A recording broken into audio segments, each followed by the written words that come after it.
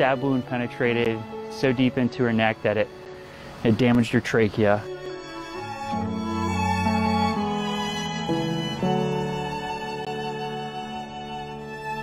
It was air escaping her trachea into her lung and, and chest cavity around her heart.